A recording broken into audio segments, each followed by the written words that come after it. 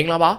ဘာမီဆိုမူဗီကနေပြန်လည်ပြီးတော့ကြိုးဆိုပါရယ်ဒီနေ့မှာတော့တာရုပါဗျာဇလန်တွေအပိုင်း၄ဇက်သိန်းပိုင်းကိုတင်ဆက်ပေးသွားမှာဖြစ်ပြီးတော့ကျွန်တော်တို့အဆုံးထိလိုက်ပါစီမျောကြဖို့ဖိတ်ခေါ်ရင်းနဲ့စီစဉ်လေးကိုကျွန်တော်စားလိုက်ရအောင်ပါ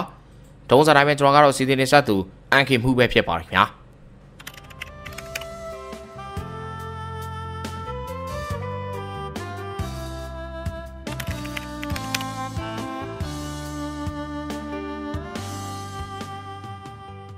ဝင်းနဲ့ဒီယာတို့ပတ်စံပေးပြီးတော့မြူဆွဲခဲ့ကြတဲ့ကားသမားဟာဆရာဝန်ကဖြတ်ပြရမယ်လို့ပြောထားခဲ့တဲ့သူ့ရဲ့ခြေထောက်တွေလှုပ်ရှားလို့ရလာတာကြောင့်ဝမ်းသာအားနဲ့အိမ်သားတွေကိုပြေးဝင်သွားခဲ့ပါတယ်။သူ့ရဲ့ထူးခြားတဲ့ပြုမှုကြောင့်သူနာပြုဆရာမတွေကသူ့ရဲ့အမိကိုခေါ်ကာအစင်ပြေလားဆိုပြီးတော့အပြင်ကနေမင်းနေကြပေမဲ့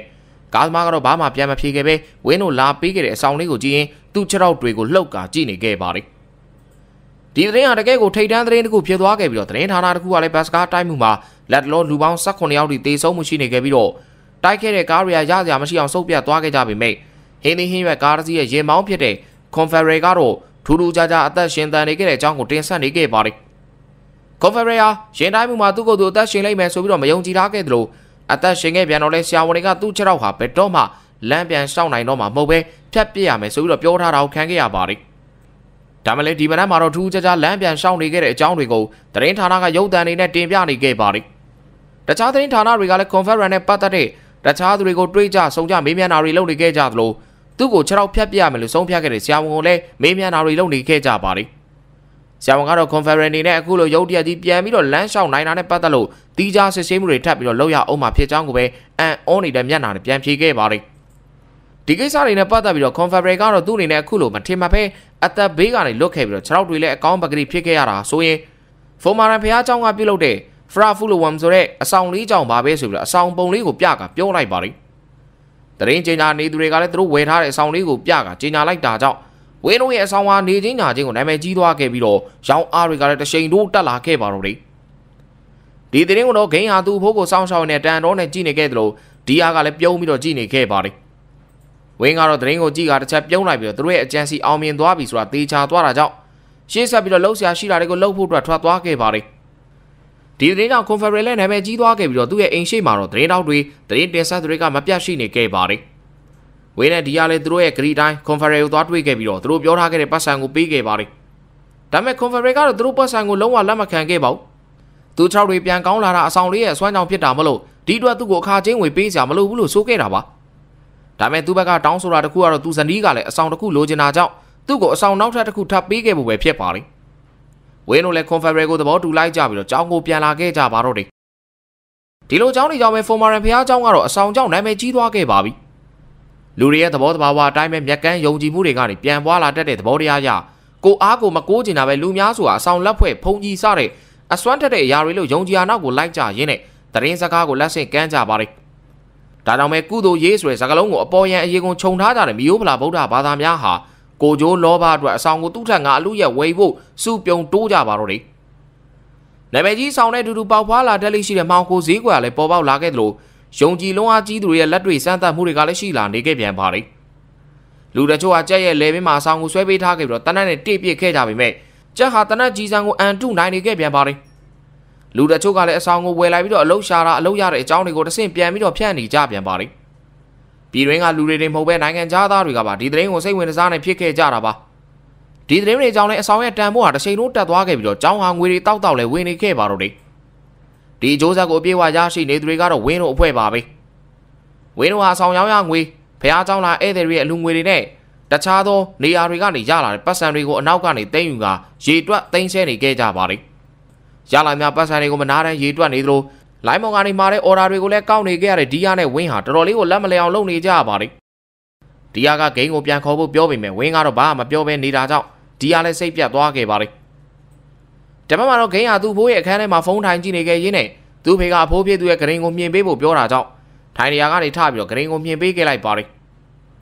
အဖိုးရဲ့ဘေးနာကိုရောက်တဲ့အခါမှာတော့အဖေဖြစ်သူကဂိမ်းအနေနဲ့လက်တော်အလုံးလုံးနေရာအဆင်ပြေမပြေမေးခဲ့ပါတယ်တကယ်တော့အဖေဖြစ်သူဟာတစ်ချိန်ကဂိမ်းကသူ့စီကပတ်စံချိခဲ့ဘူးတာကြောင့် သူ့ဖိုးရဲ့ရှေ့မှာလမ်းဖွင့်ပေးခဲ့တာပဲဖြစ်ပါတယ်။ဂိမ်းကလည်းဒါကိုသိမဲ့အဆင်ပြေတဲ့အကြောင်းပဲပြန်ပြောခဲ့တာပါ။အဖေဖေသူကတော့အဆင်မပြေရင်လည်းပြောဖို့ကိုထပ်ပြောပေမဲ့ဂိမ်းကတော့ညင်းပဲညင်းလိုက်ပါတယ်။ဂိမ်းကသူ့ဖိုးအတွက်ရေဘူးယူမှာသူတို့လှုပ်ထားတဲ့အဆောင်ကိုအမတ်မထင်တွေ့လိုက်ရတာကြောင့်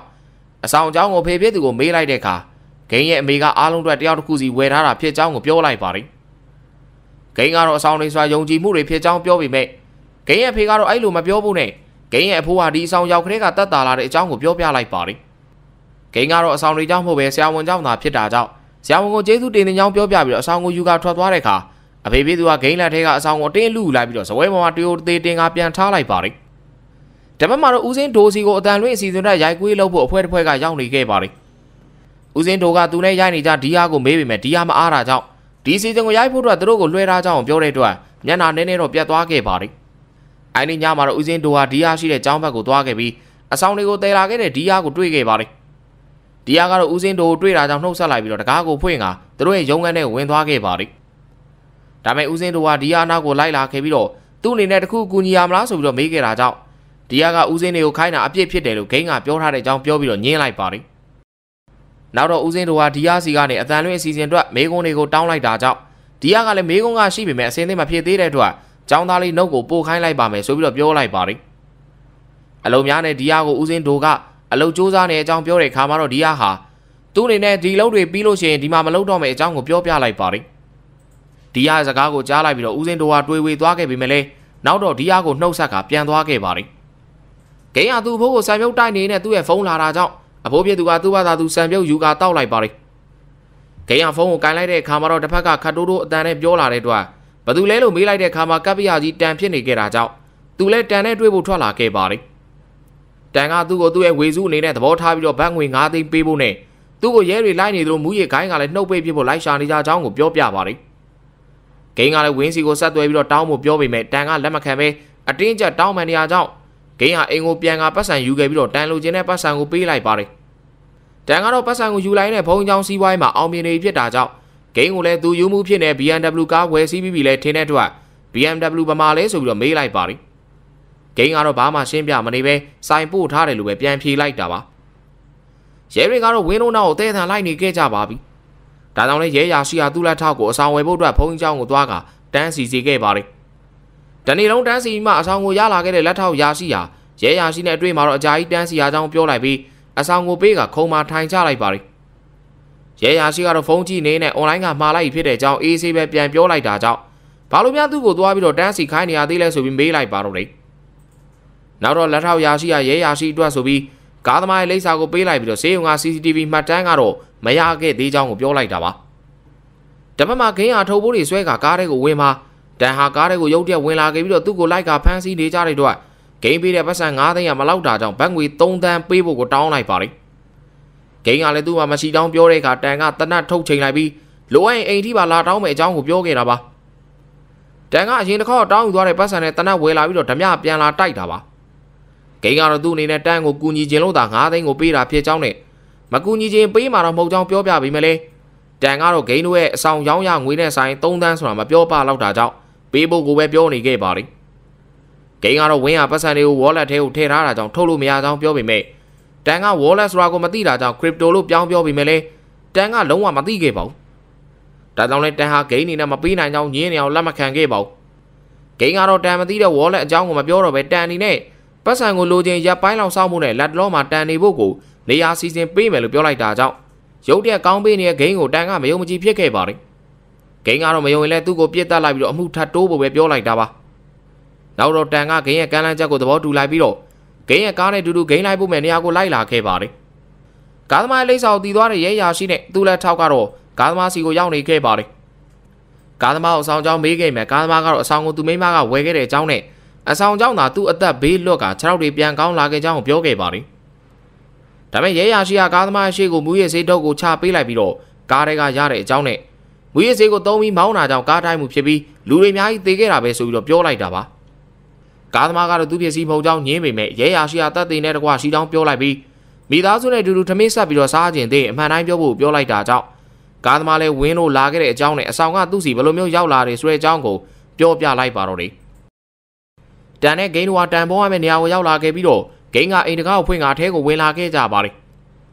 တန်ဟာမီးတွေရေတွေကိုတေချာစစ်ဆေးခဲ့ပြီးရေမီးရတာကြောင့်သဘောကျသွားခဲ့ပါတယ် နောက်တော့ TV ကောင်းမကောင်းမေးတဲ့အခါဂိမ်းကဖွင့်လို့ရရင်ကောင်းကြောင်းနဲ့မရရင်မကောင်းကြောင်းရွေးပြီးတော့ပြောလိုက်တဲ့အခါ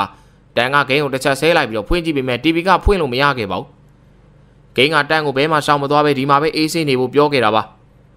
ပတ်စံရဖို့ပဲလောကြီးနေတဲ့တန်ကိုလည်းဘန်းငွေ3သန်းစွာနေတဲ့ပမာဏမဟုတ်တာကြောင့်စိတ်ရှည်ပေးဖို့ပြောခဲ့ပါတယ်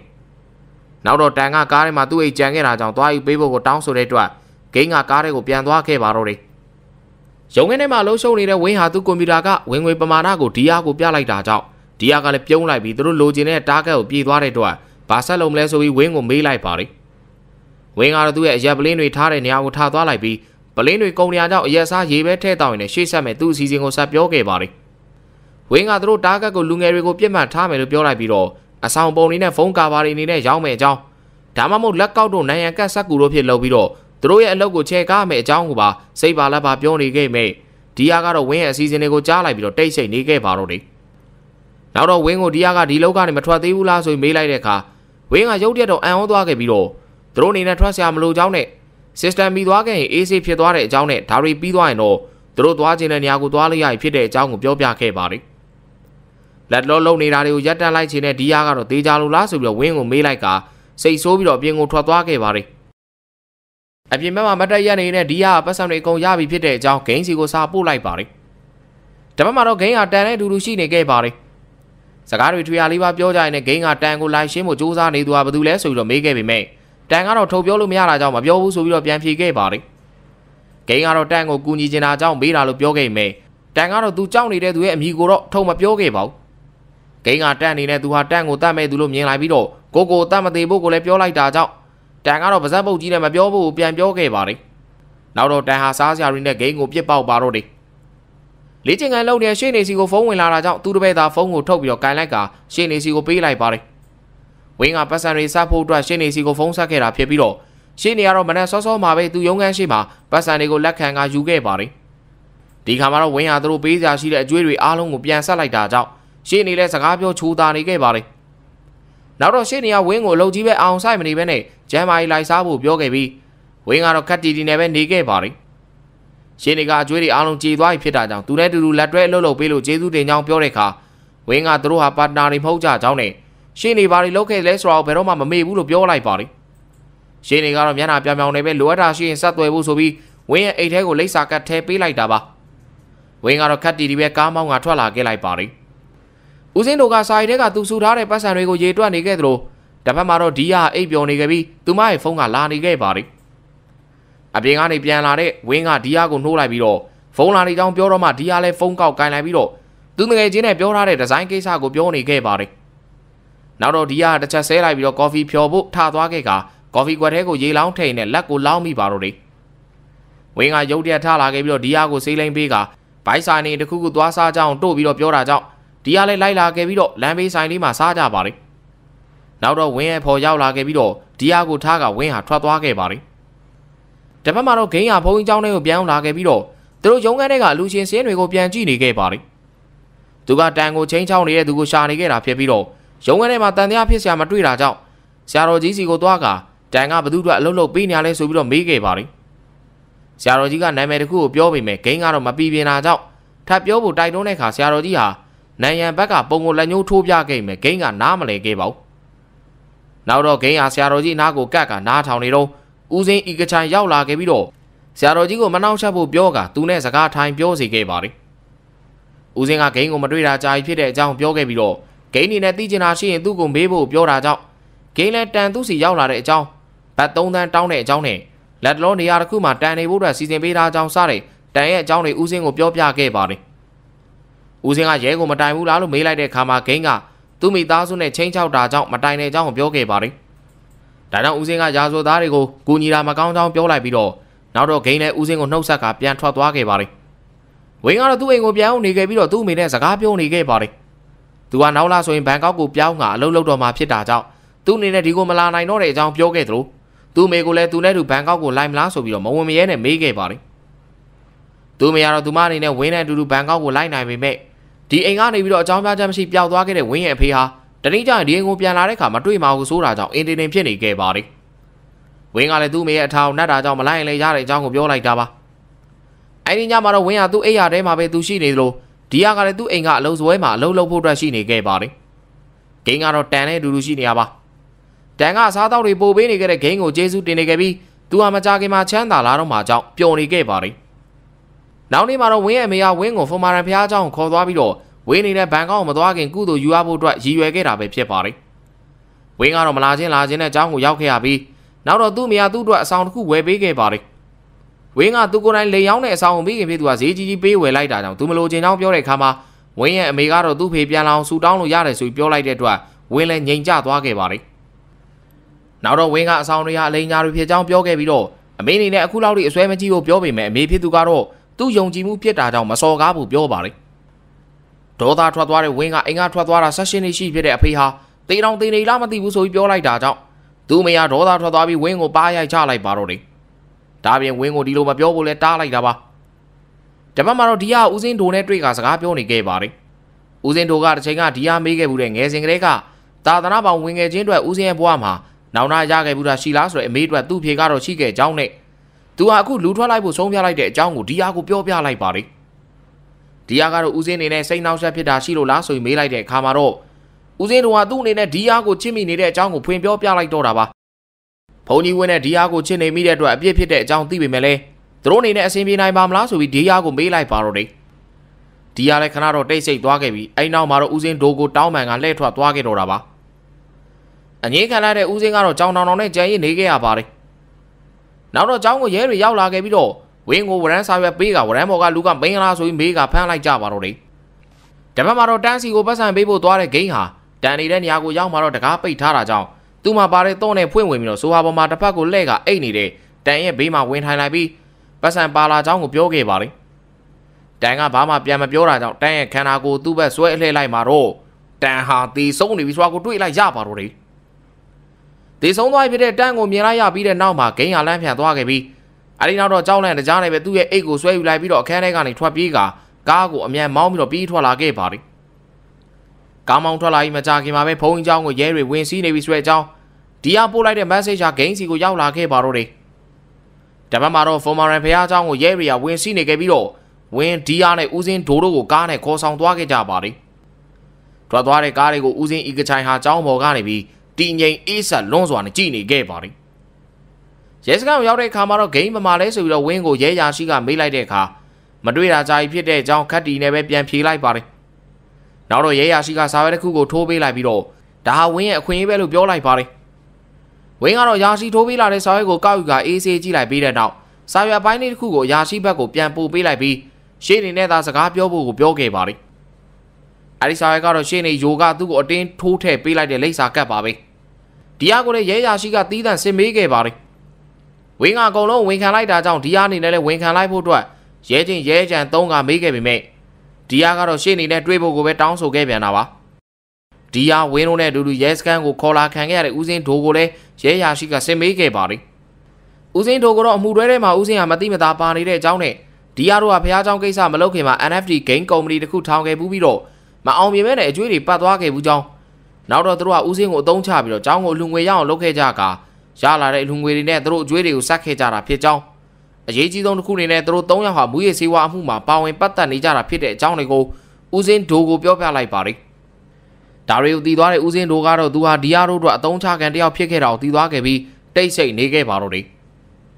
တခြားရဲတွေကတော့ဖော်မာရန်ကျောင်းမှာရောက်နေကြပြီးတော့ကျောင်းမှာဝင်းလို့လှုပ်ဆောင်ထားတာတွေကိုဓာတ်ပုံရိုက်ကာမှတ်တမ်းယူနေခဲ့သလို ဦးစင်းဤကချိုင်စီကိုလည်းဝရန်စာရက်တစ်ခုပေးလိုက်ပါတယ်ဦးစင်းဤကချိုင်ကတော့ဒီကဖြစ်တာကရောဘာကိစ္စလဲဆိုပြီးမေးတဲ့အခါခေါင်းဆောင်ကမူရည်စေးကိစ္စလို့ပြောလိုက်တာကြောင့်ဦးစင်းကမကြေမနက်နဲ့ပဲရဲတွေနေနဲ့တန်ကိုဖမ်းမိထားပြီးတာတော့မပြီးသေးဘူးလားဆိုပြီးတော့မကြေမနက်နဲ့ပြန်မေးလိုက်ပါတယ်ခေါင်းဆောင်ကတော့အမှုကိုထိခိုက်မှာဆိုတာကြောင့်အချက်လက်တချို့ရထားပေမဲ့ပြောလို့မဖြစ်ကြောင်းပြောခဲ့ပြီးဘုံเจ้าရဲ့ဝင်ငွေဘုတ်ဖွဲ့စရင်စားတာတွေကိုတောင်းခဲ့ပါတယ်နောက်တော့ဆရာတော်ကြီးရဲ့အခန်းထဲကိုလာခဲ့ကြပြီးတော့ဆေးဆေးတာတွေလောက်ကြသလို ပြန်မကောင်းသေးတဲ့ဆရာတော်ကြီးကလည်းသူပြောတာတွေကိုတုံ့ပြန်နိုင်လားဆိုပြီးမေးတာကြောင့်ဦးစင်းဤကချိုင်ကဆရာတော်ရဲ့အနားကိုတိုးကပ်လိုက်ပြီးတော့ရဲတွေရောက်နေကြောင်းပြောပြီးပဲဆရာတော်စီကနားလည်ရခက်တဲ့လေချောင်းတွေကအတန်တွေကိုပဲကြားခဲ့ရပါတယ်ရဲကောင်းဆောင်ဆရာတော်ရဲ့ဗန်စင်းစာအုပ်ကိုတောင်းတဲ့အခါမိကန်တစ်တာထဲမှာထားတာဖြစ်တာကြောင့်ဦးစင်းကဖွင့်လို့မရကြောင်းပြောတဲ့အခါမှာတော့ရဲတွေဟာမိကန်တစ်တာကိုတတ်သိနေနဲ့ရဲစခန်းကိုယူသွားမယ်အကြောင်းပြောခဲ့ပါတယ်တပတ်မှလည်းရဲတချို့ကဂိမ်းအိမ်ကိုသွားခဲ့ကြပြီးတော့ဂိမ်းရှိမရှိကိုမေးခဲ့တယ်လို့ မိသားစုနေနဲ့ဖော်မာရန်ကျောင်းကိုရောက်ဖူးကြလားဆိုပြီးတော့လည်းမေးခဲ့ပါတယ်ဂိမ်းရဲ့ဖေကတော့ကျောင်းကိုမရောက်ဘူးကျောင်းနဲ့အဆောင်ကိုတော့ဝယ်ခဲ့ဘူးကျောင်းကိုပြန်ပြောပြလိုက်ပြီးဂိမ်းကျောင်းကိုလည်းမေးလိုက်တာပါ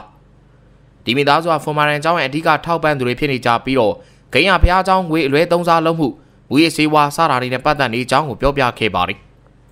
ဒီကြောင်းကြားလိုက်ရတဲ့ဂိမ်းရဲ့အမဟာဂိမ်းစီကိုဖုန်းဆက်လိုက်ပြီးတော့ရဲရီရောက်နေကြောင်းနဲ့ဂိမ်းနေနဲ့လှုပ်ထားတာတွေကဘာကြီးလဲဆိုပြီးတော့မေးခဲ့တာပါ ဂိမ်းကတော့သူဟာတခြားမျိုးတစ်မျိုးကိုရောက်နေကြောင်းနဲ့ပြဿနာတွေကိုမကြားခင်မှာဖြေရှင်းပေးမယ်အကြောင်းထိတ်ထိတ်ပြပြနေပဲပြန်ပြောခဲ့လိုက်ပါတယ်ရဲစခန်းမှာတော့ဦးစင်းတို့ဟာရဲတွေအနေနဲ့သူ့ကိုပါတန်တရားဝင်နေရလားဆိုပြီးတော့မေးလိုက်တဲ့အခါအရာရှိဖြစ်သူကဦးစင်းအနေနဲ့တောเจ้าကနေမြို့เจ้าကိုရုတ်တရက်ကြီးပြောင်းရွှေ့လာတာဟာငွေเจ้าမှမဟုတ်ရင်တခြားဘာကြောင့်လဲဆိုပြီးတော့မေးခဲ့ပါတယ်ဦးစင်းကတော့သူကဗုဒ္ဓဘာသာသာသနာကိုပြန်ပွားအောင်လုပ်ဖို့အတွက်သာဖြစ်ပြီးဂိမ်းတို့တော့ကသူ့ကိုထောက်ပံ့ခဲ့တဲ့အကြောင်းနဲ့ဂိမ်းတို့ရဲ့ကောင်းတဲ့ရွယ်ချက်အသီးသာထင်ရှားတဲ့အကြောင်းကိုလည်းပြောပြလိုက်ပါတယ် ဒီခါမှာတော့ရာရှိကဘာတစ်ခုမှရိုက်ကူးထားကြတဲ့ဂိမ်းတို့၃အောင်လုံးရဲ့ပုံကိုပြလိုက်ပြီးသူတို့ကတကယ်ပဲကောင်းတဲ့ရွယ်ချက်နဲ့လှုပ်ဆောင်ကြတယ်လို့ထင်နေလားဆိုပြီးတော့မေးခဲ့လိုက်ပါတယ်ဒါပြင်လဲဦးစင်းနေနဲ့တောเจ้าကိုပြန်သွားရာကနေမြို့ကိုဘာလို့ပြန်လာခဲ့တာလဲဆိုပြီးတော့ရဲရာရှိကမေးလိုက်တဲ့ခါမှာဦးစင်းတို့ကဖော်မာရန်เจ้าရဲ့ပြဿနာကိုကူညီပေးခြင်းလို့ပြန်လာတာဖြစ်ကြောင်းနဲ့မူရစေးကိစ္စကြောင့်လူသိနေသွားတဲ့ဖះเจ้าကိုလူဝင်ပြန်များလာပြီးတော့အရင်လိုပြန်စီကားလာအောင်ဒီယာတို့နဲ့အတူတူပေါင်းကလှုပ်ရှားမှုတစ်ခုအနေနဲ့မြင့်မြတ်တဲ့ပစ္စည်းတွေကိုရှာဖွေစုဆောင်းပြီး အဆောင်လက်ဖွဲ့လုပ်ခဲ့ကြောင်းကိုဦးစင်းတို့ကအေးအေးဆေးဆေးရှင်းပြလိုက်ပါတယ်ရဲရာရှိကတော့ဦးစင်းဒိုလိုတော်ရင်းဦးစင်းအနေနဲ့ဝိထုပစ္စည်းတွေကိုဆွဲလန်းလို့ရကြမနေဘူးလားလို့မေးတဲ့အခါမှာတော့ဦးစင်းကကျောင်းကိုလူပြန်ဝင်လာဖို့အတွက်လှုံ့ဆော်ချက်တစ်ခုပဲဖြစ်တဲ့အကြောင်းနဲ့ဝင်းတို့ကအဆောင်ရောင်းပြီးတော့ရရှိတဲ့ငွေနဲ့ဓမ္မရိတာဆောက်လုပ်လူတိုင်းမဲ့အကြောင်းပြန်ပြောခဲ့ပါတယ်ရဲရာရှိကအဆောင်ရောင်းရငွေဟာဓမ္မရိတာဆောက်လုပ်ဖို့တဲ့အစာပေါင်းများစွာပိုရရှိကြောင်းပြောတဲ့အခါမှာဦးစင်းကသူ့အနေနဲ့ဒါတွေကိုမသိတဲ့အကြောင်းကိုပဲရိုးသားသားပြန်ဖြေခဲ့ပါတယ် ဦးစင်းရဲ့ရိုးသားမှုကိုထိုင်းလျောက်နားလေသွားခဲ့တဲ့ရဲရာရှိကတော့ဦးစင်းအနေနဲ့ရဲတွေကိုကူညီတဲ့အနေနဲ့ဝင်းတို့ရဲ့လောက်ရတွေကိုဖော်ထုတ်ပေးဖို့ပြောပေမဲ့ဦးစင်းကတော့ဂိမ်းတို့ဟာလူကောင်းတွေသာဖြစ်ကြောင်းအဆုံးထိကိုထောက်ခံပေးနေခဲ့ပါတယ်။သူမှရှိတဲ့ဒီယာပေါ်ထားတဲ့အချစ်စိတ်ကရာရာကိုဖုံးလွှမ်းနေစေခဲ့တာကြောင့်ဂိမ်းနဲ့ဝင်းကလူလိန်တွေဖြစ်နေခဲ့တောင်သူ့ရဲ့ဒီယာလေးဟာလူကောင်းမာလေးပါလို့ထင်မြင်နေခဲ့ရှာတာပါ။ဒါပေမဲ့ရဲရာရှိစီကနေသုံးအောင်စလုံးကလူလိန်တွေဖြစ်ကြပြီးဦးစင်းကိုအတုံးချနေကြအကြောင်းပြောတဲ့ခါမှာတော့ဦးစင်းဒိုလဲအထူးတလဲတိတ်ဆိတ်သွားခဲ့ပါတော့တယ်။ ဖော်မာရန်ကျောင်းမှာတော့ဦးစင်းဤကချိုင်ဟာမိကန်တစ်တာကိုဖွင့်ပေးခဲ့လိုက်ပြီးရဲတွေကတော့မိကန်တစ်တာတွေကပစ္စည်းတွေကိုစစ်ဆေးကာပတ်စံတွေကိုတွေ့တာကြောင့်ဘဲကရလဲဆိုပြီးတော့ဦးစင်းကိုမေးခဲ့ပါတယ်။ဦးစင်းကတော့အရင်လားကရတဲ့လူငယ်တွေဖြစ်ကြောင်းကိုပြောလိုက်တဲ့အခါရဲကောင်းဆောင်ဟာဒီနေ့အတွက်တော့စစ်ဆေးမှုကဒီလောက်ပဲဖြစ်ကြောင်းနဲ့လိုအပ်ရင်စကန်ကိုခေါ်လိုက်မဲ့အကြောင်းဦးစင်းကိုပြောခဲ့ကရဲစကန်ကိုပြန်သွားခဲ့ပါတယ်။တပတ်မှလည်းတခြားမျိုးတစ်မျိုးရောက်နေတဲ့ဂိမ်းစီကိုဦးစင်းဤကချိုင်စီကမက်ဆေ့တစ်စောင်ဝင်လာခဲ့ပြီးတော့တန်ရဲ့ပြဿနာဖြေရှင်းပြီးပြီဖြစ်တာကြောင့်စကားပြောကြကြအောင် ကျောင်းကိုလာခဲ့မလားဆိုပြီးတော့မေးထားခဲ့ပါတယ်။ဒါကြောင့်ဂိမ်းဟာအန်အော်ဂျီနဲ့ဖော်မာရန်ကျောင်းစီကိုအမြန်ပြန်လာခဲ့လိုက်ပါတော့တယ်ရဲစခန်းမှာရောက်နေတဲ့ဒီယာကတော့သူမကိုစစ်ဆေးတာတွေပြီးဆုံးပြီဖြစ်တာကြောင့်ထိုင်ကုန်မှာစိတ်ပြက်လက်ပြက်နဲ့ထိုင်နေခဲ့ပြီးဝင်းကတော့အစစ်ဆေးခံနေရတော့မဲ့ဖြစ်ပါတယ်ဝင်းကသူတို့ကိုမူးယစ်မှုငွေလဲသုံးစားမှုတွေနဲ့ဆွဆွဲထားတာကြောင့်ဒီဆွဆွဲမှုတွေမှာတတ်တရောရှိရလားဆိုပြီးတော့ရဲယာရှိကိုရုပ်တီနေပဲပြန်ပြီးတော့မေးလိုက်ပါတယ် ယုံကြည်မှုပြည့်ရှိနေခဲ့တဲ့သူ့ကိုရဲယာရှိကတခြားအကြောင်းတွေရှိပေမဲ့ဖော်မာရန်အကြောင်းကိုမှဘာလို့ရွေးခဲ့ရတာလဲဆိုပြီးတော့မေးလိုက်တဲ့အခါမှာတော့ဝင်းကသင်းငယ်တဲ့အကြောင်းလေးကိုရွေးတာဘာမှလို့လဲဆိုပြီးရဲယာရှိကိုမေးခွန်းပြန်ထုတ်ခဲ့ပါတယ်ရဲယာရှိကလည်းဝင်းရဲ့အမေးကိုမဖြေဘဲမူရဲ့ဆေးကိုဖုံးကျောင်းထဲမှာရောင်းဝယ်ရလားဆိုပြီးတော့ထပ်ကမေးခဲ့ပါတယ်ဒီညင်နဲ့ဝင်းကတော့စိတ်ထဲထင်လို့ပြောလို့ရပေမဲ့လည်းရဲယာရှိတယောက်နေတဲ့စိတ်ကူးရင်မေးခွန်းတွေထုတ်မနေတင်ကြောင်းခတ်တီတီပဲပြန်ပြောခဲ့လိုက်တာပါ ဝင်းရဲ့စကားကိုကြားပြီးမှတော့ရဲယာရှိဟာသူ့ရဲ့ထိုင်ကုန်ကိုဇပွဲစီတိုးကတ်ကကိုကိုမတ်ထိုင်လိုက်ပြီးတော့ဝင်းတို့ကဘုရားเจ้าမှာမူရည်စေးရောင်းချကြပြီးတော့ငွေမဲကိုငွေပြူဖြစ်အောင်လုပ်ဖို့အတွက်ရည်ရွယ်တာမဟုတ်လားဆိုပြီးသူ့အယူဆကိုပြောပြလိုက်ပါတယ်ဒီကိစ္စတွေကြောင့်သာဆင်းရဲတဲ့အကြောင်းလေးကနေချင်းညာချင်းချမ်းသာလာတာဖြစ်တယ်ဆိုပြီးတော့လည်းဆက်ကပြောလိုက်သေးတာပါဝင်းကတော့မခံလေးစားတဲ့ဟန်နဲ့ပခုံးတွန့်လိုက်ပြီးတော့လူတွေအနေနဲ့ဘုရားเจ้าကိုလာပြီးတော့အလှပြူတာဘာများမှားလို့လဲဆိုပြီးတော့မေကွန်ပြန်ထုတ်ခဲ့ပါတယ် ဒါပြင်ရဲတွေကចောင်းပတ်စံတွေကပျောက်ကုန်ကြပြီးအတီးပြုတ်လို့မရဘူးလို့ပြောကြတာကြောင့်တကယ်ဟိုးရလားဆိုတာစစ်ပြီးပြီလားလို့မေးလိုက်ပါတယ်ရဲရရှိကတော့နှကန်းတွုံပြုံးလိုက်ပြီးတော့ခြေရလက်ရမပြတ်ပတ်စံကိုဖျောက်ထားတာကြောင့်အခုလိုယုံကြည်ချက်ရှိရှိပြောနေတာနေမှာပါဆိုပြီးရဲတယောက်ရဲ့အတွေ့အကြုံနဲ့ပြန်ပြောလိုက်ပါတယ်နောက်တော့ရဲရရှိကရေးထားတောင်းတဲ့မူရဲ့ကိစ္စတွေမကလူတွေကိုပါအဆောင်နဲ့လှည့်စားခဲ့သေးတဲ့အကြောင်းကိုပြောတဲ့အခါဝင်းကတော့ဒါလှည့်စားတာမဟုတ်ပဲလူတွေကသူ့အဆောင်ကိုလိုလိုချင်းချင်းလာဝယ်တာဖြစ်ကြောင်းအေးဆေးပဲပြန်ပြောလိုက်ပါတယ် ရဲရရှိကဖုန်းကိုဖွင့်လိုက်ပြီးတော့သူရက်ကော့လှုပ်ထားခဲ့တဲ့ကားသမားရဲ့ဝန်ခံစကားတွေကိုဝင်းကိုဖွင့်ပြလိုက်ပြီးစေယုံက CCTV မှတ်တမ်းထဲမှာလည်းသူတို့နှစ်ယောက်ကိုတွေ့တဲ့အကြောင်းတက်သေးနဲ့အတူတူပြောလိုက်တဲ့အခါမှာတော့ဝင်းဟာခဏတော့ငြိမ်ကျသွားခဲ့ပါတယ်ဒါမဲ့လည်းနေရာတကာအကွက်တကြစီစဉ်တတ်တဲ့ဝင်းကတော့ကော်မစီအသစ်တစ်ခုကိုလူစိတ်ဝင်စားအောင်ထိုးပါဖို့အတွက်ဆိုရင်ကြော်ညာရာကြောင်းနဲ့အဲ့ဒီကြော်ညာကြတဲ့မင်းသားမင်းသမီးတွေ influencer တွေအနေနဲ့လည်းသူတို့ကြော်ညာတဲ့ပစ္စည်းတွေကိုတကယ်ပဲသုံးကြမှာမဟုတ်တဲ့အကြောင်းကိုကုန်ပစ္စည်းလူတီများဖို့အတွက်ကြေညာတာဥပဒေနဲ့မလို့ကင်းမှုသာဆိုရင် ဒီကမာမှာဘယ်ပစ္စည်းမှဥပဒေနဲ့မလွတ်ကင်းကြောင်းပြန်ပြောလိုက်တဲ့အခါမှာတော့ဝင်းရဲ့အဖြေကိုသဘောကျသွားတဲ့ရဲရရှိဟာဦးကောင်းကိုနောက်လှန်ကပြုံးနေခဲ့ပြီးအဲဒီနောက်တော့ကုံကားကိုတွန်းချလိုက်တာကိုသူမသိစေနဲ့လို့ချိန်ချောက်လိုက်ပါတယ်အစစ်စေးခံပြီးတဲ့ဦးစင်းတို့ဟာဒီယာထိုင်နေတဲ့ခုံတန်းစီမှာပဲလာထိုင်ခဲ့ပြီးတော့ရဲရီယာဒီယာတို့ဟာအကြောင်းကိုအသုံးချပြီးတော့မူရစေးရောင်းကြသလိုငွေတွေကိုလိန်ငယ်အကြောင်းကိုပြောပြတဲ့အကြောင်းနဲ့သူ့ကိုဝင်းတို့ကအသုံးချခဲ့တာဖြစ်ကြောင်းဒါမှမဟုတ်သူနဲ့အတူတူဒီယာပါအသုံးချခံရလားဆိုပြီးတော့ဖုံးခွဲထားတဲ့အချစ်စိတ်နဲ့မေးခဲ့ပါတယ်။ ဒိတ်စိတ်နဲ့ဒီယာကိုကြည့်ပြီးတော့ဒီယာလို့တော်ပြီးထက်မြက်တဲ့မိန်းကလေးတယောက်ကဘာလို့ဒါတွေလောက်ရတာလဲဆိုပြီးတော့မေးလိုက်သလိုသူဟာအခုချိန်นี้ဒီယာကအပြစ်ကင်းကြောင်းနဲ့ဒီယာပါအသုံးချခံရတာလို့ထင်နေတဲ့အကြောင်းကိုပြောပြခဲ့ပါတယ်ဒီယာကတော့မိန်းကလေးချောချောလေးတွေဘလောက်ပဲအမှားလှုပ်ထားလှုပ်ထားယောက်ျားအများစုကနားလေပေးတယ်မြဲဖြစ်တဲ့ဇကစုဖြစ်တဲ့တောင်းပန်ပါတယ်ဆိုတဲ့ဇကလုံးကိုညှို့ညှို့ငယ်ငယ်နဲ့ပဲဦးစင်းဒိုကိုပြောခဲ့လိုက်ပါတယ်အမှုစစ်ကန်တို့မပြီးသေးတဲ့ဝင်းကတော့သူ့ရှေ့နေမလာသေးဘူးလားဆိုပြီးတော့ရဲရာရှိကိုမေးခဲ့ပေမဲ့ ရဲကတော့ရှေ့နေကဒီအမှုကနေကယ်နိုင်မယ်ထင်ရလားဆိုပြီးတော့မေးလိုက်တာပါဒါပေမဲ့ဘာသာရေးကနေအမျက်ထုတ်တဲ့ကောက်ကျစ်တဲ့ကောင်ဆိုပြီးတော့ဝင်းကိုပြောခဲ့ပေမဲ့ဝင်းကတော့တက်သေးရှိရင်သူတို့ကိုဖမ်းလို့ပြောလိုက်ပြီးဘုံဝင်ကျောင်းတွေဆိုတာစီးပွားရေးလုပ်ငန်းတစ်ခုသာဖြစ်ကြောင်းနဲ့ပစ္စည်းကစိတ်အေးချမ်းမှုဖြစ်ကြောင်းယုံကြည်ရင်လာပြီးတော့မယုံကြည်ရင်မလာနိုင်ကြောင်းနဲ့စင်ရချမ်းသာလိုက်အလူငွေကွာခြားနိုင်ကြောင်းဘယ်သူတဦးတယောက်ကမှအတင်းကျပ်လုပ်တာမဟုတ်တဲ့အကြောင်းသူ့အယူအဆကိုပြောပြလိုက်ပါတယ်သူစကားကိုစိတ်အေးလေးနားထောင်တဲ့ရဲရာရှိကတော့ပတ်စံအားလုံး ဘုံကြီးတောင်းကိုရောက်သွားရင်ပြဿနာမရှိပေမဲ့ဗဆန်ကိုဝင်းတို့စီရောက်သွားတာကပြဿနာဖြစ်ကြောင်းပြောတဲ့အခါဝင်းကခေါင်းကိုခါလိုက်ပြီးသူတို့ကလှုပ်အားပေးဖို့ပဲလာတဲ့အကြောင်းနဲ့ပတ်ဆိုင်ကိုမထီကြောင်းပြောလိုက်ပါလေရဲရရှိကလည်းဝင်းပြောတာကိုလက်ခံသူတို့ခေါင်းဆလိုက်ပြီးတော့ဘုံကြီးအမိအောက်မှာအကောင့်ကရှိနေတာမှန်ပေမဲ့နေမကောင်းတဲ့ဘုံကြီးရဲ့အကောင့်ကနေပြီးတော့တခြားအကောင့်တွေအများကြီးစီကိုပတ်ဆိုင်တွေခွဲရောက်နေတာကမဖြစ်နိုင်ကြောင်းပြောလိုက်ပြီးဒါမျိုးကိုလုံနိုင်တာကတော့ကျွမ်းကျင်ဉာဏ်ကောင်းပြီးတော့ကောက်ကျစ်တဲ့လူငယ်တွေပဲလုံနိုင်ကြောင်းကိုပြောလိုက်ပါလေ နောက်တော့ရဲရရှိကဂိမ်းကိုဦးစင်းဤကချိုင်ကလက်ထောက်ကပ်ပိယအနေနဲ့ခန့်ထားတဲ့စာရွက်ကိုပြလိုက်တဲ့အခါဝင်းဟာငြိမ်ကျသွားခဲ့ရပါတယ်အရာရှိကဝင်းနေတဲ့အခုလိုဖုန်းကြောင်းကိုလိန်နေတာသူ့အမေတီလားဆိုပြီးတော့မေးခဲ့သလိုသူ့ကိုဖမ်းတဲ့အချိန်မှာသူ့အမေမျက်နှာအရန်ကိုလန့်နေတဲ့အကြောင်းချင်းချောက်သလိုလိုသတိပေးသလိုလိုပြောလိုက်တဲ့အခါမှာတော့ဝင်းဟာအော်ဆဲပါတော့တယ်ရဲရရှိကတော့ရှေ့နေကိုစောင့်မှုပြောလိုက်ကပြန်ထွက်သွားခဲ့ပါတယ်ဦးစင်းအီချိုင်စီကနေမက်ဆေ့ရပြီးတဲ့နောက်ဂိမ်းယာဖွန်မာရန်ကျောင်းကိုပြန်လာခဲ့ပြီးတော့ ဂိမ်းဝါမှာရဲရီရှိနေတာကြောင့်အိုဒရိုင်းကိုကြော်ကာကျောင်းထဲကိုဝင်လာခဲ့ပါတယ်။ကျောင်းထဲရောက်တဲ့အခါမှာတော့ကျောင်းတိုက်တွေကိုဖျက်ပြီးပြေးကဦးစင်းအီချိုင်ရှိတဲ့ကျောင်းဆောင်စီကိုလာခဲ့လိုက်ပြီးဦးစင်းနဲ့တွေ့လိုက်ပါတယ်။ဦးစင်းကဂိမ်းကိုကြည့်လိုက်ပြီးတော့တန်းကိုဒီတိုင်းပဲထားထားမှလားလို့မေးလိုက်တာကြောင့်သူထားခဲ့တဲ့အခန်းထဲမှာတေဆုံးသွားခဲ့တဲ့တန်းရဲ့အကြောင်းကိုဦးစင်းနေနဲ့ဘယ်လိုလုပ်ပြီးတော့သိနေရလဲဆိုပြီးတော့တန်တော်နဲ့မေးလိုက်ပါတယ်။နောက်တော့တန်ကိုဦးစင်းတတ်လိုက်တာလားဆိုပြီးမေးလိုက်တဲ့အခါဦးစင်းကတော့တန်ဟာဂိမ်းရဲ့အခန်းထဲမှာဖြစ်တာကြောင့်ဦးစင်ဟာဘလို့ဘယ်နည်းနဲ့တတ်မှာလဲဆိုပြီးတော့ပြန်မေးလိုက်တာပါ ကြုံတွေ့နေရတဲ့အခြေအနေပေါ်မှာမယုံမကြည်ဖြစ်နေခဲ့တဲ့ဂိမ်းဟာဦးစင်ဤကချိုင်ကိုကြည့်ပြီးတော့တန်ကိုဘာလို့တတ်လိုက်တာလဲဆိုပြီးဆွဆွဲနေတာကြောင့်ဦးစင်ကသူ့ကိုဆွဆွဲနေရလားလို့မေးလိုက်ပြီးနောက်တော့ဒီကိစ္စတွေကိုစတင်ခဲ့တဲ့သူကဂိမ်းတို့တောင်းတာဖြစ်ကြောင်းပြောလိုက်ပါတယ်နောက်တော့ဦးစင်ဟာဒီဖုန်းကြီးတောင်းကကုမ္ပဏီတစ်ခုသာဆိုရင်တန်ကိုအလုပ်ဖြုတ်လိုက်တာသာဖြစ်ကြောင်းပြောလိုက်ပြီးတော့ဒီကိစ္စတွေအားလုံးရဲ့နောက်ွယ်မှာဦးစင်ရှိနေကြောင်းအသိပေးလိုက်ပါတော့တယ်အန်အော်နေတဲ့ဂိမ်းဟာတန်ကိုအလုတ်ဖြုတ်လိုက်တာမဟုတ်ပဲတတ်လိုက်တာဖြစ်ကြောင်းပြောလိုက်ပြီးတော့ရုပ်တရက်ဆရာတော်ကြီးရဲ့ဖြစ်ကိုတတိယကဆရာတော်ကြီးကိုလည်း ဦးစင်းဤကချိုင်ကဒီလိုဖြစ်အောင်လုပ်လိုက်တာလားဆိုပြီးတော့မေးလိုက်ပါတော့တယ်အဲဒီခါမှာတော့ဦးစင်းဤကချိုင်ဟာဆရာတော်ကြီးကအသက်ကြီးတာကြောင့်ကျောင်းကိုတိုးတက်အောင်မလုပ်နိုင်ခဲ့တဲ့အတွက်ဂိမ်းတို့သုံးအောင်နဲ့ဆရာတော်ကြီးကိုရွေးရတဲ့နေရာမှာဂိမ်းတို့သုံးယောက်ကိုသာရွေးလိုက်ကြောင်းပြောလိုက်ပြီးတော့လက်တလုံးမှာတော့ဂိမ်းရဲ့တငယ်ချင်းနှစ်ယောက်ကအဖမ်းခံထားပြီးဂိမ်းကတော့ပြေးနေရကြောင်းတပ်သေးတွေနဲ့ရှင်းလာမယ်ဆိုရင်ဘလို့မှပြေးမလို့တဲ့အကြောင်းကိုပြောလိုက်ပါတယ်အခြေအနေကိုနားလေသွားတဲ့ဂိမ်းကတော့ငုံမဲမဲဖြစ်သွားခဲ့ပြီးတော့ဦးစင်းဤကချိုင်လိုချင်တာဘာလဲဆိုပြီးတဲ့တဲ့ပဲဘေးလိုက်ပါတော့တယ် ဦးစင်းကတော့စိတ်လှုပ်ရှားနေတဲ့ဂိမ်းစီကိုတလန်းချင်းရှောက်သွားလိုက်ပြီးစိတ်အေးအေးထားဖို့နဲ့သူ့အနေနဲ့ဂိမ်းတို့ကိုထိခိုက်စေလိုတဲ့ရွယ်ချက်မရှိတဲ့အကြောင်းဂိမ်းတို့ရဲ့အရေးချင်းတဲ့နှလုံးသားကိုလေးစားတဲ့အကြောင်းပြောလိုက်ပြီးသူလှုပ်စေချင်တာကတော့ဂိမ်းတို့အနေနဲ့ဗုဒ္ဓဘာသာကိုဒီထက်ပိုပြီးဖြန့်စေခြင်းကြောင်းပြောလိုက်ပါတော့တယ်ရဲစခန်းမှာရှင်းနေကိုစောင့်နေခဲ့တဲ့ဝင်းကိုသူ့ကိုစစ်ဆေးတဲ့ရာရှိကအခန်းဝါကနေကြည့်နေခဲ့ပါတယ်နောက်တော့သူ့ရဲ့လက်အောက်ရာရှိတယောက်ရောက်လာကသူ့ကိုဖုန်းပေးလိုက်ပြီးအဲနောက်တော့ရဲရာရှိဟာသူ့ထက်အရာရှိဖြစ်သူစကမ်းမှုစီကိုသွားခဲ့က ဝင်းတို့ကိုလွတ်ပေးဖို့ပြောတာကိုခံလိုက်ရပါတော့တယ်ဒါကြောင့်ရာရှိဟာလိုအပ်တဲ့တပ်တွေတော်တော်များများက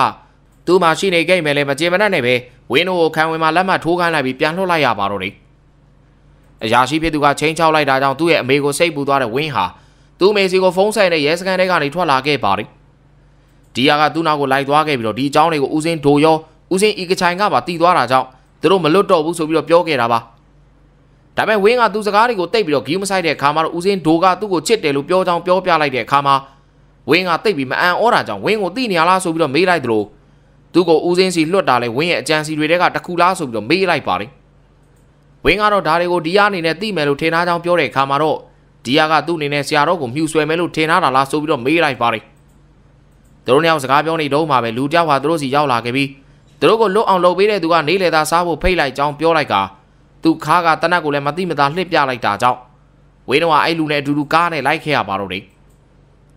သူတို့ထွက်သွားတာကိုရှေ့နေယိုကကားပေါ်ကနေပြီးတော့ကြည်နေခဲ့ပါတယ်နောက်တော့ဝင်းတော့စားသောက်ဆိုင်တစ်ခုရဲ့တီးတန့်ခန်းတစ်ခုတည်းကိုရောက်လာကြကဇဝဲဝိုင်းမှာကတော့သူတို့အကြောင်းကိုအများကြီးလှူခဲ့တဲ့နိုင်ငံရေးသမားအမျိုးသမီးဟာထိုင်နေခဲ့ပါတယ်သူမနဲ့အတူတူဂိမ်းလဲထိုင်ညာကိုတွေ့လိုက်ရပါတယ်ဝင်းတို့ဇဝဲမှာဝင်ထိုင်ပြီးကြတဲ့အခါအမျိုးသမီးဟာသူ့ကိုယ်သူမိတ်ဆက်လိုက်ပြီးဝင်းတို့ကိုစာနေကြပြီလားလို့မေးလိုက်ပြီးတော့ ဇွဲတိုးလေးတွေကိုရေးယူလာခိုင်းလိုက်ပါတယ်နောက်တော့သူတို့၃ယောက်ရဲ့မိသားစုအကြောင်းတွေကိုပြောလာတဲ့အခါမှာတော့ဝင်းလဲဘာလို့ကျင်တာလဲဆိုတော့အမျိုးသမီးကိုတဲ့တဲ့ပဲမေးလိုက်တာပါအမျိုးသမီးကတော့ဝင်းတို့အကန့်အသတ်နဲ့လှုပ်သွားတဲ့အဆောင်ဟာအရန်ဆွမ်းတဲ့အကြောင်းနဲ့သူလည်းဒီ project မျိုးလုပ်ဖို့အချိန်ချင်းစူးစမ်းခဲ့မိနာမည်ကြီးဘုန်းကြီးကျောင်းတွေမှာလုပ်ခဲ့တာတော့မအောင်မြင်တဲ့အကြောင်းဝင်းရဲ့ဈေးကွက်အမြင်ကအရန်ကိုကောင်းတဲ့အကြောင်းကိုပြောပြခဲ့ပါတယ်ဒါပြင်သူမကိုယ်တိုင်လည်းတန်းနဲ့ချီပြီးတော့ဝယ်ခဲ့တဲ့အကြောင်းကိုပြောပြလိုက်ပါတော့တယ် နောက်တော့မျိုးသမီးကဝင်းကအမျိုးသမီးတွေနဲ့သူတို့ကိုဘာကြောင့်ကူညီခဲ့တာလဲဆိုပြီးတော့မေးခဲ့တာကြောင့်ဒါနဲ့ပတ်သက်ပြီးဂျေစုတရားမှာကသူတို့ကိုထောင်ထဲကလွတ်အောင်ကူညီပေးတဲ့ဂိမ်းသာဖြစ်ကြောင်းပြောလိုက်တဲ့အခါမှာတော့ဝင်းတို့ဟာအံ့ဩသွားကြပါတော့တယ်နောက်တော့မျိုးသမီးကစီးပွားရေးသမားဖြစ်တာကြောင့်ဘယ်ဟာမှတော့အလကားမရဘူးဆိုပြီးထပ်ကပြောဆိုခဲ့ပါတယ်တကယ်တော့ဂိမ်းဟာဦးစင်းဤကချိုင်းတဲ့သဘောတူညီမှုတစ်ခုလှုပ်ထားခဲ့ပြီးပါပြီသူတို့လှုပ်ထားတဲ့သဘောတူညီမှုရဂိမ်းတို့၃ယောက်ဟာသူတို့လုံနေကြအတိုင်းဘုံကြီးကြောင်စီးပွားရေးလုပ်ကိုဆက်လုပ်နေရမှာဖြစ်ပါတယ် လုပ်ငန်းကိုတိုးချဲတဲ့အနေနဲ့ခရိုင်ဖုန်းကြီးကျောင်းမှာအခြေချပြီးတော့တနိုင်ငံလုံးကဗုဒ္ဓဘာသာတွေကိုနှီးမျိုးစုံနဲ့တစ်သက်လုံးလိန်လယ်အမျက်ထုတ်ခိုင်းခဲ့တာပါဒါပေမဲ့ဒီလောက်ကြီးတဲ့ project ကိုတော့သူတို့ကြီးပဲလုပ်ရမှာမဟုတ်ပဲဤကချိုင်ရဲ့လူတချို့နဲ့ပါပူးပေါင်းပြီးတော့လုပ်ကြမှာဖြစ်ပါတယ်ဦးစင်ဤကချိုင်ကတော့သူတို့နောက်ွယ်မှာမူရစေးရောင်းပြီးရရှိတဲ့ငွေမဲတွေကိုဘုံကြီးကျောင်းကိုအသုံးပြုကငွေပြူဖြစ်ခွာချပြစ်မှာပါတကယ်လို့သူတို့ကမပူပေါင်းမှုဆိုရင်တော့သူတို့ကထောင်ထဲမှာပဲအချိန်ကုန်ကြမှာပဲဖြစ်ပါတယ် အမျိုးသမီးကဂိမ်းတို့သဘောတူထားခဲ့တဲ့ဒီအကြောင်းတွေကိုဝင်းတို့ကိုပြန်ပြောပြလိုက်ပြီးသဘောတူမတူမေးလိုက်ကသူတို့နဲ့ပူပေါင်းပြီးလုပ်ရမယ်သူကတော့သူမပဲဖြစ်ပြီးသူတို့ကသူတို့လှုပ်သူတို့ဆက်လုပ်နေဖို့နဲ့လိုအပ်တာရှိရင်သူမကိုပြောဖို့ကိုပြောပြလိုက်ပါတယ်တကယ်တော့သူတို့၃ယောက်ဟာသူတို့ထေမထားလောက်အင်အားကြီးပြီးတော့ရက်ဆက်တဲ့သူတွေနဲ့မတိမတာပတ်သက်နေမိခဲ့တာပဲဖြစ်ပါတယ်အခုတော့အဲ့ဒီလူတွေနဲ့ထဲထဲဝင်ဝင်ပတ်သက်ရတော့မှာဖြစ်ပါတယ်အမျိုးသမီးကတကယ်လို့ဝင်းတို့အနေနဲ့သူမနဲ့အတူတွဲပြီးတော့အလုံးမလုပ်ဘူးဆိုရင်လို့ပြောလိုက်ကစကားကိုခဏရပ်ထားလိုက်ပါတယ် နောက်တော့ဝေတာတယောက်အဖုံးအုပ်ထားတဲ့ဟင်းပွဲတစ်ခုဇပွဲပေါ်ကိုလာချပေးခဲ့ပြီးတော့အဖုံးကိုဖွင့်လိုက်တဲ့အခါမှာတော့ဗကန်ထဲမှာရှိနေခဲ့တာရွှေရောင်နာရီဝစ်ထားတဲ့တန့်ရဲ့လက်တစ်ဖက်ပဲဖြစ်နေခဲ့ပါတယ်။ဒါကိုတွေ့ပြီးတဲ့အခါမှာတော့ဝင်းတို့၃ယောက်စလုံးထိတ်လန့်ကြောက်ရွံ့သွားခဲ့ကြပြီးနောက်တော့၃ယောက်စလုံးသဘောတူလိုက်ကြရပါတော့တယ်။အဲနောက်တော့သူတို့ကိုကားတစ်စီးနဲ့ဘုံချောင်းရှိကိုပို့လိုက်ကြပြီးကားပေါ်ကစင်းစင်းချင်းမှာပဲဝင်းဟာအော်ဟစ်ကထွက်ပြေးသွားပါတော့တယ်။ဂိမ်းနဲ့ဒီယာတို့ကတော့ကြောင်းထဲကိုပြန်ဝင်သွားခဲ့ကြပါတယ် နောက်တော့ဒီဟာဇပွဲပေါ်မှာဦးစင်းဒိုရဲ့စာကိုတွေးလိုက်ရပြီးတော့စာထဲမှာကတော့ဦးစင်းရဲ့စိတ်ကိုစမ်းသပ်ပေးခဲ့တဲ့အတွက်ဒီဟာကိုကျေးဇူးတင်ကြောင်းနဲ့သူမှလိုအပ်နေတဲ့တရားတွေကိုဖြည့်ဖို့ထွက်သွားတဲ့အကြောင်းဒီဟာကိုလည်းမကောင်းတာတွေဆက်မလုပ်တော့ဘူးနဲ့ပျော်စီခြင်းတဲ့အကြောင်းကိုစာရေးထားခဲ့ပါလိမ့်စာဖတ်ပြီးတဲ့နောက်ကျောင်းကိုဆင်းလာခဲ့တဲ့ဒီယာဟာဆရာတော်ကြီးတေဆုံးသွားတာကိုဆေးလိတ်တောင်းရင်ကြည့်နေတဲ့ဂိမ်းကိုတွေးလိုက်ရပြီးတော့ဆရာတော်ကြီးအကြောင်းကိုဝင်းကိုပြောလိုက်ရမလားလို့မေးပေမဲ့ဂိမ်းကတော့တားခဲ့လိုက်ပါတယ် ဝင်းရစိတ်လေးနဲ့အိမ်ကိုပြန်လာခင်နဲ့သူ့ရဲ့အိမ်ရှိမှရက်နေရဲရရှိကိုတွေးလိုက်ရတာကြောင့်ဒေါသထွက်သွားခဲ့ပြီးတော့ရဲရရှိစီကိုပြေးဝင်သွားကဘာလို့နေရလဲလို့မေးလိုက်တဲ့အခါရဲရရှိကသူ့မိနဲ့တွေ့ပြီးတော့သူ့เจ้าနေပြောလိုက်တာလို့ပြောလိုက်ပါလိဒေါသထွက်သွားတဲ့ဝင်းရရဲရရှိကိုလက်သီးနဲ့ပြေးထိုးခဲ့မိရဲရရှိပြီးပြီးဝင်းရဲ့လက်ကိုလိန်ချိုးလိုက်ပြီးမှောက်သိမ့်လိုက်တာဝင်းနေနဲ့ပျောက်သွားတဲ့သူ့ဖေမတွေ့ချင်ဘူးလားဆိုပြီးတော့မေးလိုက်ပါလိထက်တန်းပြဆရာတယောက်ဖြစ်ပြီးနောက်ကျောင်းရှင်းတဲ့ဝင်းရဲ့ဖေဟာဘာကြောင့်ပျောက်သွားတာလဲလို့မေးလိုက်ပြီးသိချင်တော့ သူနဲ့ပူးပေါင်းကြမယ်လို့ပြောလိုက်ပါတယ်ရဲရရှိကနိုင်ငံရေးသမားတွေကမူရစေးတွေရောင်းဝယ်တာကိုလုပ်နေခဲ့ကြပြီးဝင်းကလည်းဒီထဲမှာပါဝင်ပတ်သက်နေတာကြောင့်သူ့ကိုသတင်းပေးအောင်ပဲဆိုပြီးပြောကထွက်သွားခဲ့ပါတော့တယ်တပတ်မှတော့ဂိမ်းဟာအင်ကိုပြောင်းနေခဲ့ပြီးတော့သူ့မိသားစုကသူ့ကိုစီးကြိုကဇူဘူးပြောဆိုခဲ့ကြသလိုဒီဟာလည်း passport တွေအထုပ်တွေပြင်ပြီးတော့တနေရာကိုထွက်သွားဖို့ပြင်ဆင်နေခဲ့ပါတယ်ဝင်းစီကနေဝင်လာခဲ့တဲ့ဖုန်းကိုလည်းဘလော့လိုက်က အဆက်ဖြတ်လိုက်ပါတော့တယ် ဝင်းကတော့စိတ်လေးနဲ့ရက်တောင်းနေအတိတ်ကသူ့ဖေနဲ့ကြုံတွေ့ခဲ့တာတွေကိုသတိရပြီးသူ့ဖေပေးထားခဲ့တဲ့အယုတ်ကလေးကိုကြည့်နေမိပါတယ်။အဲ့ချိန်မှာရုတ်တရက်ရက်ခွက်ကမှောက်သွားကအယုတ်ကိုစူသွားခဲ့တာကြောင့်ကြပြားကြအယုတ်ကိုတုတ်လိုက်ပါတယ်။နောက်တော့သူ့ဖေပြောခဲ့တဲ့တနေ့သူရွယ်ရောက်လာတဲ့အခါမှာမြင်နေရတာတွေကတကယ်တော့ဘာမှမဟုတ်ဘူးဆိုတာသိလာလိမ့်မယ်ဆိုတဲ့စကားကိုသတိရလိုက်ပြီးသူပဲပေးထားခဲ့တဲ့ရုပ်ကလေးရဲ့အတွင်းပိုင်းကိုနှိုက်ကြည့်လိုက်တဲ့အချိန်မှာတော့အန်အောချင်းကြီးစွာဖြစ်ခဲ့ရပါတော့တယ်အကြောင်းကတော့အဲ့ဒီမှာကတ်ထားတဲ့ဇက်ကူအပိုင်းစတွေဟာ ဘုံကြီးเจ้าရဲ့အလူငွေစင်းကိုဖျောက်ဖျက်ထားတဲ့စာရက်တွေဖြစ်နေတာကြောင့်ပါပဲပြီးတော့တာရူပါဗျာဇလန်တွေစီဇန်1ဟာလေဒီနေရာမှာနေမဲ့ပြီးဆုံးသွားခဲ့ပါတော့တယ်ခင်ဗျာ